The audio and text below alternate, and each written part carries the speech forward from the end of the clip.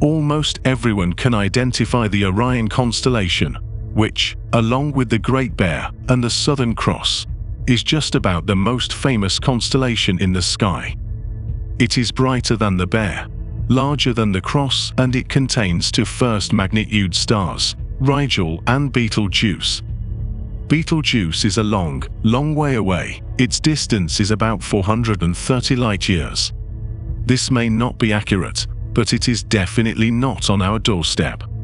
But, it is a pulsating supergiant, with a diameter of at least 400 times that of the Sun and luminosity that could match 15,000 suns. Betelgeuse is highly evolved, almost a stellar old-age pensioner. It has used up its main nuclear fuels, which means disaster awaits. If our current theories are right, it will explode as a supernova and will end up as either a neutron star or, more probably, a black hole. So, when the supernova outburst happens, how will it impact us here on Earth? Will there be any effects on Earth? And most importantly, is there any danger? Orbit. Beyond the blue.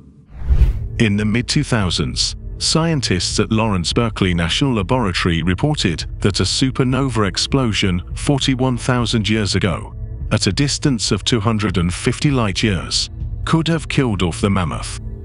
Mammoth tusks dated at 34,000 years old were found to contain tiny impact craters, apparently produced by slightly radioactive, iron-rich grains moving at 22 million miles per hour, velocities typical of supernova ejection.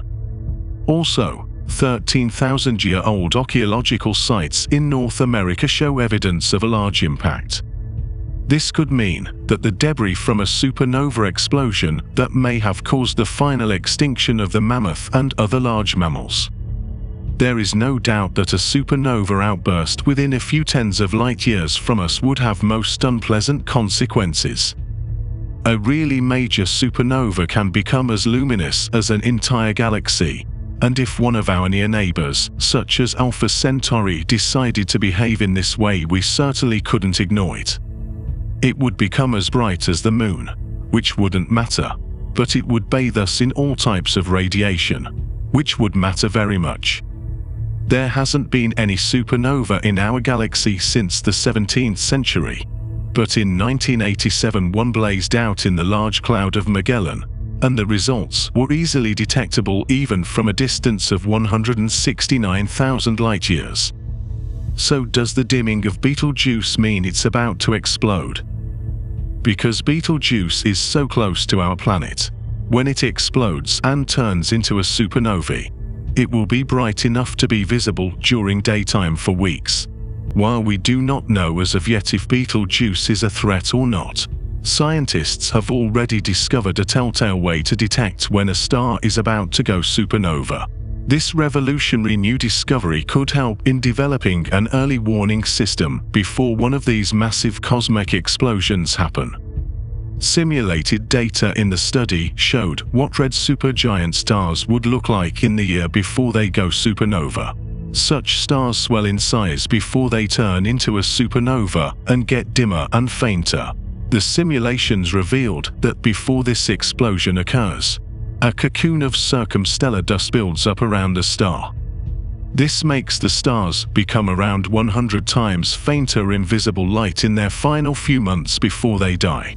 The dimming may be caused by a sudden accumulation of material around the star, which obscures its light, though scientists aren't sure how this happens. With that information, astronomers will be able to point other telescopes at the target to study the physical conditions of the star's atmosphere as it prepares for the final countdown to its self-destruction. In 2020, Betelgeuse suddenly blew its top off and ejected a gigantic portion of its surface mass. No one in the world had seen anything like this, a sentiment which was shared by NASA as well. While solar flares are common, no doubt, this eruption was something much stronger. Our sun keeps throwing tantrums all the time. On October 2, 2022, the sun had emitted a strong solar flare. NASA's Solar Dynamics Observatory captured an image of the event. This flare was found to be an X1 flare, one of the most intense flares, as we are heading towards the solar maximum a time when solar flares are at their most frequent, strong, and potentially catastrophic if they hit Earth. On the night of March 29 this year, a massive solar flare knocked out radio communications on our planet. As we have already explained solar flares before, they are huge explosions from the sun's surface that emit intense bursts of electromagnetic radiation. This solar flare was immensely powerful and classified as a 101.2 flare, belonging to the most powerful X-class, bodged in on the Earth, ionized the top layer of the atmosphere, and managed to severely disturb the radio communication across Southeast Asia, Australia, and New Zealand for a good one hour. The flare appeared from the largest and most complex sunspot group that is currently observed in the southwestern part of the Sun's disk by space weather forecasters. This X-class solar flare is already the seventh this year, just so you know the difference. The year 2022 altogether witnessed just seven X-class solar flares.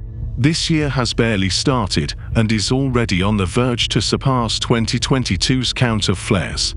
That is massive. The Betelgeuse eruption, however, was a much more massive explosion. This particular ejection was 400 billion times the mass of an ordinary solar flare from our Sun. Scientists have stated that the unusually huge amount of ejection in Betelgeuse surely is a phenomenon that needs more understanding before they can give us any certain answers and arrive at conclusions.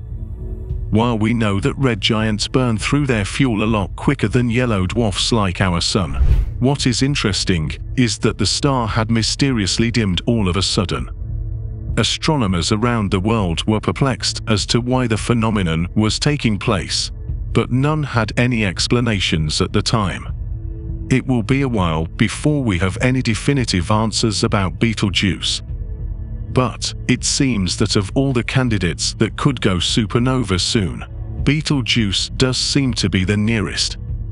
And if it exploded we would learn it from it.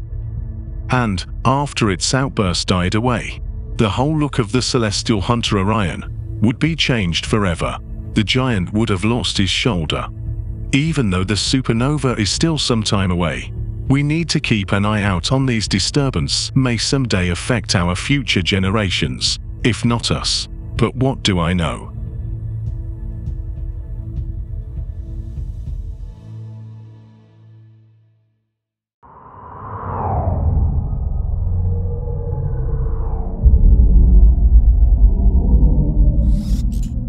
Orbit. Beyond the blue.